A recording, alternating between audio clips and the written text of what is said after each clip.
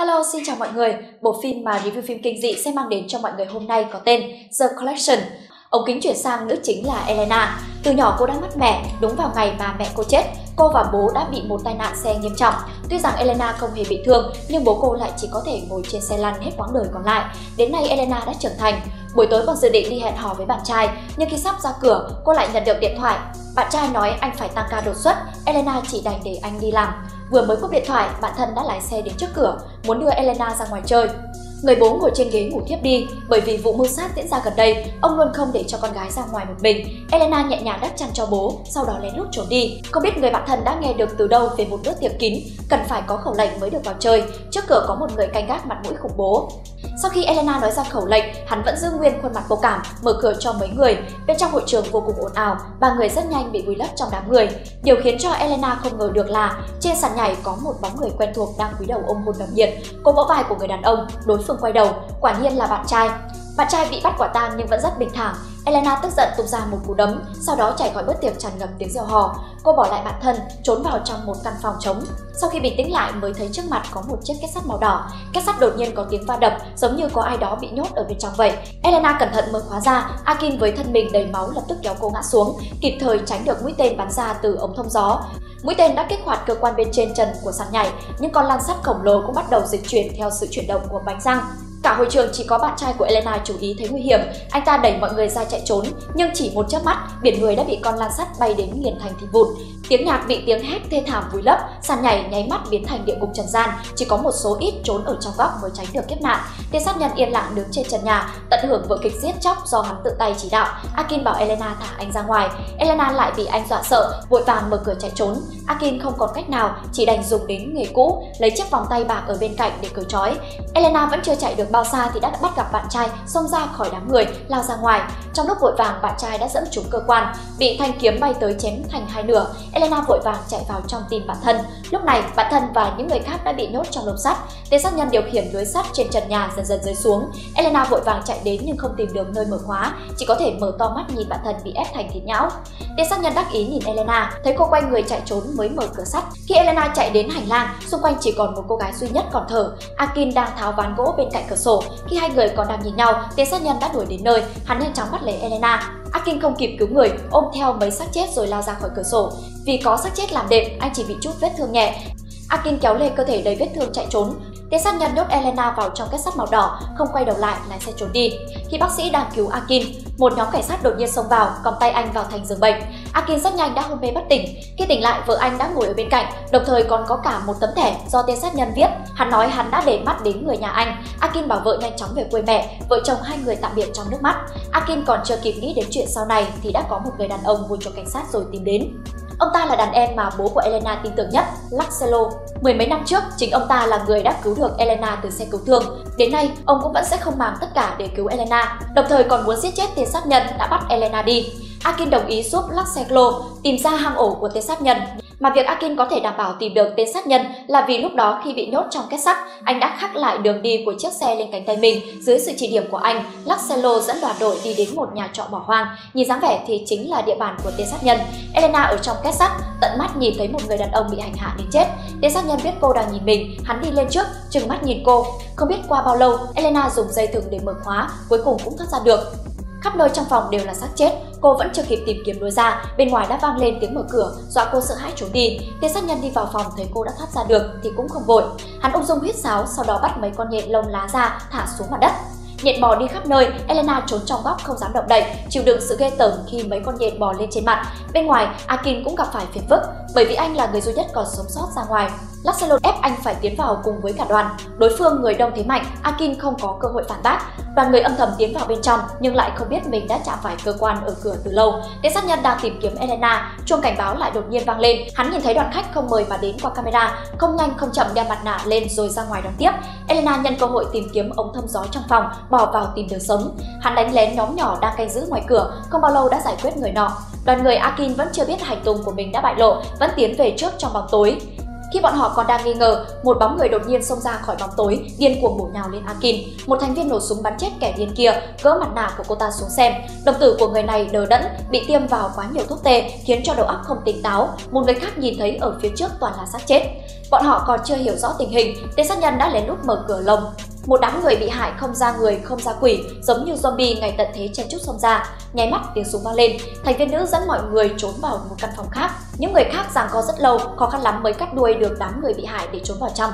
Khi bình tĩnh lại mới thấy không có đường nào thoát ra. Đoàn người bị nhốt trong một căn hầm kiên cố rộng khoảng 10 mét vuông, không còn được lui, chỉ đành tiếp tục tiến lên.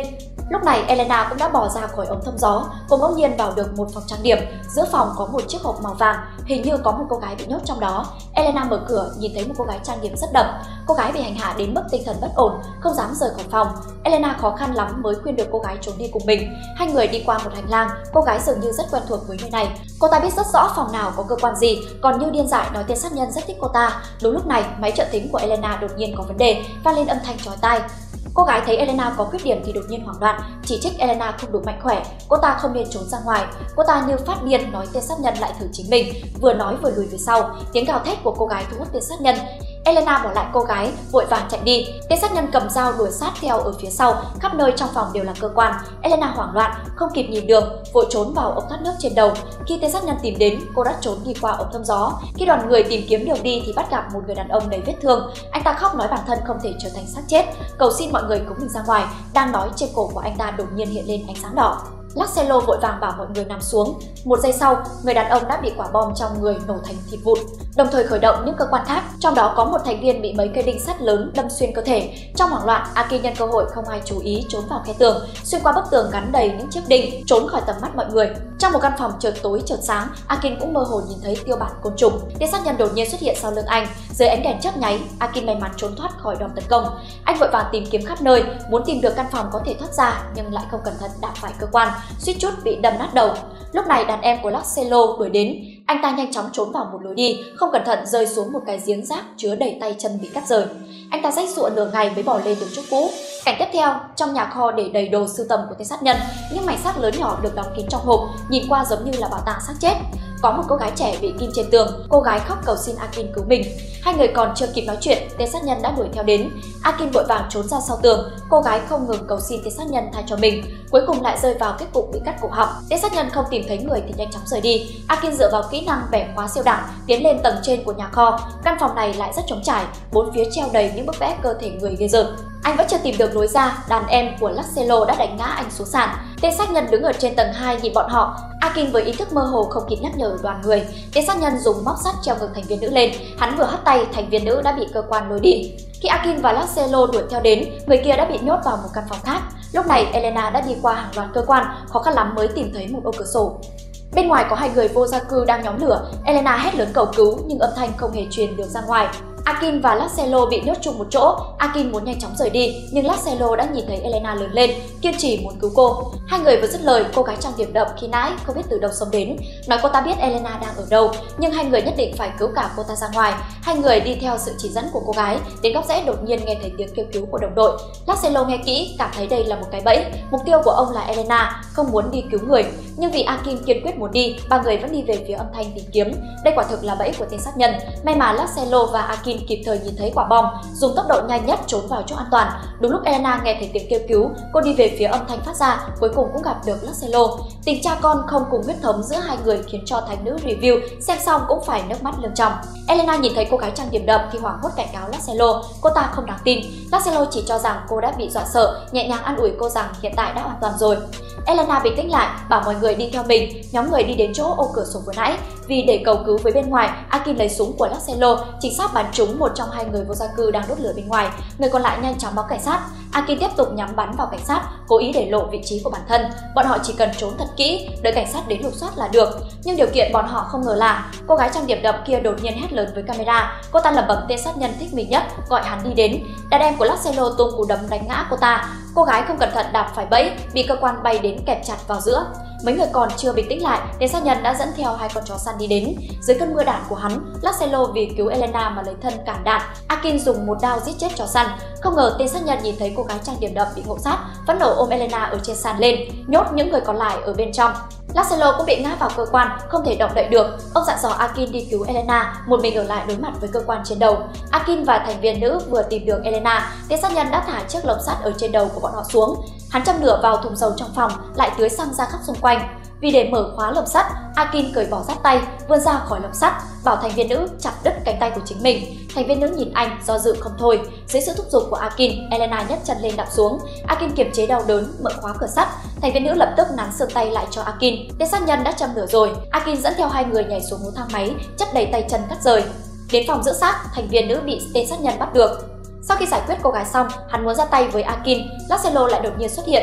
Lacello đúng là đàn ông đích thực, thành nữ review nhìn thấy Lacello còn sống thì còn kích động hơn cả nhìn thấy Batman nữa đó. Lacello mang theo vết thương, đánh tay đôi với tên sát nhân. Con dao trong tay tên sát nhân không ngừng chém lên người Lacello. Sau lời cổ vũ lúc lâm chung của Lacello, Akin cuối cùng cũng đứng lên, vật lộn với tên sát nhân. Cuối cùng, anh quăng tên sát nhân xuống giếng tay chân, châm lửa rồi ném xuống. Elena vội vàng gõ cửa cầu cứu, những người lính cứu hỏa bên ngoài bị cô thu hút, Akin lại bị nhốt trong ngọn lửa. Ngay khi anh rơi vào tuyệt vọng, Elena đã nhấc gậy sắt lên đập vỡ bộ sưu tập mảnh xác, chất lỏng tràn ra dập tắt ngọn lửa. Trong nháy mắt khi lính cứu hỏa phá được cửa, hai người cùng nhau bước ra, nhưng Aki nhìn thấy mặt nạ của tên sát nhân trong đống cho tàn, đoán rằng hắn đã trốn thoát. Quả nhiên, một ngày không lâu sau đó, khi một người đàn ông mặc đồ jean quay về nhà, chuông cảnh báo lại đột nhiên vang lên. Người đàn ông rút dao ra phòng thân, bất ngờ lại phát hiện được chiếc tủ gỗ màu đỏ trong bếp. Akin đột nhiên giơ súng xuất hiện. Anh đã chú ý đến từ lâu, tên sát nhân là một nhà côn trùng học. Hôm nay Akin không đến để giết người, anh nhốt đối phương vào hộp, muốn để cho hắn cảm nhận được nỗi thống khổ mà anh từng phải chịu. Bộ phim kết thúc tại đây, review phim kinh dị xem xong thì thấy toàn thân sảng khoái. Mặc dù Lacello không sống đến cuối cùng, nhưng may mắn là Akin tốt bụng đã sống sót, cuối cùng thậm chí còn tìm ra tên sát nhân. Nghe nói The Collector 3 vẫn đang chờ quay, sau khi đóng máy, review phim kinh dị nhất định sẽ lập tức giới thiệu cho mọi người. Video lần này đến đây là hết rồi, review phim kinh dị hẹn gặp lại mọi người lần sau nhé!